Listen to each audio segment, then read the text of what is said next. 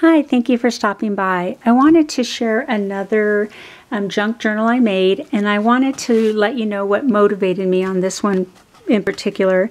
I'm at nighttime when I can't sleep. I go through YouTube channels to find very creative ideas, and I came across this one channel and I can't find it. I've looked through my history to try to thank her for her wonderful ideas. So if you're watching this, um, please let me know because this is so creative. Basically, it is sheet music, and then the outside are napkins that you Mod Podge together. So this one here, I didn't sew it yet, but on this one, I did hand sew it here. And what I did with um, this particular book, I included one of these very creative envelopes inside the middle of each um, signature page. This one, you can see I hand sewed it, and I just like sometimes when you have just the name of the sheet music or the song, and then it just goes from there. Just really, really cool and creative. So with that in mind, let's go through this um, really cute junk journal. And um, wanted to let you know too that I try to use scrap paper with the same theme, kind of vintage, some flowers, some butterflies, some birds. And this actual cover is from a box. So I just cut it out, cut um, the edges so I can have a front and back cover and it all just got bound together. So with that in mind, let's go ahead and go through this and you can see the signatures there and one of those envelopes that I've made are in between. So again, this is kind of like a vintage flower, you know, birds, kind of a cool journal. The pages are the last pages I have where I would use um, leaves and then I would boil them on the paper and then it would leave this really cool leaf pattern. So the paper is nice and thick. I think it's um, um, watercolor paper. So I like to use that. And then here are some leaves I put. And it's sometimes hard to cover the leaf pattern. So if you draw lines, then you can write things down. It'll still keep the pattern there.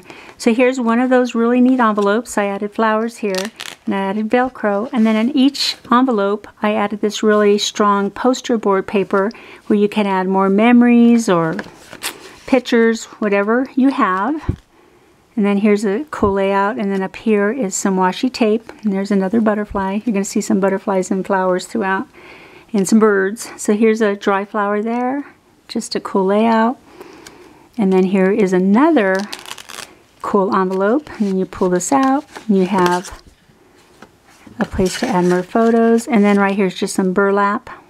And look at how cool the, the leaf, I'm sorry, the napkin cover was on this one. You can see here in the back.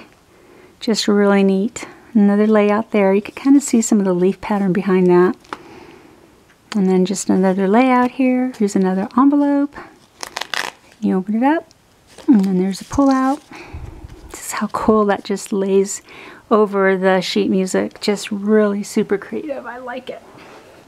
Okay, here in the back. So you can see here's a really cool leaf. So I drew lines there so you write your memories. You can still see the leaf pattern. And then places to put photos and memories. There's another flower up here. Kind of a cool border down there. Another envelope. See how cool this is? Sometimes I'll put the graphics of the sheet music where you can see it and then you can see the name of the sheet music and you have a pull out. So really neat. And then there's another layout, some more flowers on this side. That's a neat um, sheet music cover. And that's just um, the graphics on it and then a pull out here. And then that really neat leaf pattern. Then I did some, cut out some flowers from the scrap paper there. Just a mix of different type of scrap paper just to kind of keep that same theme going. Here I added some butterflies. Open up there. Here's the outside of the sheet music. And then some notes by the person um, who had this at one time. I found this um, these sheet music, just a whole bunch of it at a state sale. It's just really neat. It's definitely vintage. Some of them are dated 1918, so I just love them. I have so many pieces of that. I'm sure I'll be utilizing for other projects. Cool leaf pattern down there. A little scrapbook saying right there.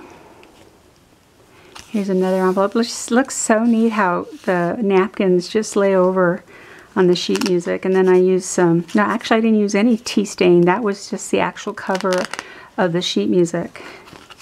And here's another pullout right there. It says Love and Roses. two exceptional waltz.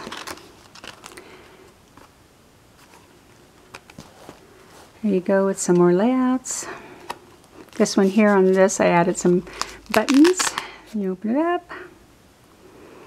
And then the pull out is right there. That one has a little bit of a bling on the scrap paper as well. And it's kind of a plain sheet, but definitely can add some memories there. Another layout with a little flower here.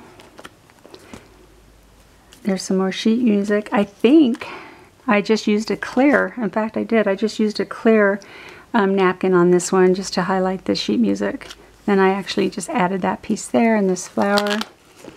Another pull out.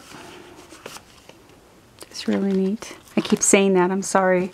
I just really like this new craft, crafty idea with the sheet music and the napkins and the way it makes envelopes.